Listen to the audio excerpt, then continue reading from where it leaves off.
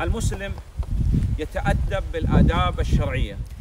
мусулман адам шариатта келген адептерди кармануусу зарыл يتعلم سنة النبي صلى الله عليه وسلم пайгамбар саллаллаху алейхи вассаламдын сүннөтүн үйрөнүш керек يطبقها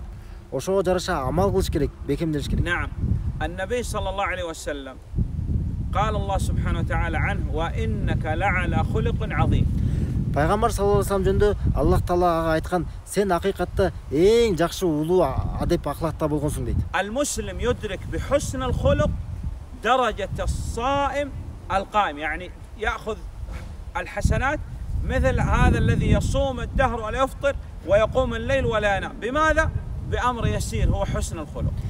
адам мусулман адам жакшы адеп акылагы менен ушундай даражага жетиши мүмкүн дейт адам эгерде түбөлүк эч кандай эч орозосун бузбай такай дайыма орозо кармап турган абал сыяктуу же болбосо намазын такай ар дайым намазда турган абалдай сыяктуу ушундай жакшы адеп акылык аркылуу ушундай даражага жетиши мүмкүн نعم وقال النبي عليه الصلاة والسلام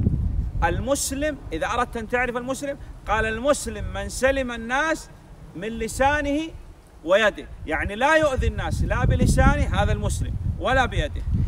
пайгамбар саллаллаху алейhi мусулман адам жөнүндө айткан мусулман бул ким дейт ошол адамдан анын тилинин зыянынан дагы анын колдорунун колунун зыянынан дагы башка адамдар аман болгон а башка адамдарга анын тилинин дагы колуна зыяны жетпеген نعم إما أن تقول خيرا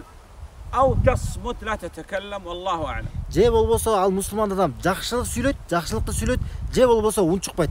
ушул мусулман аллах жакшы билүүчү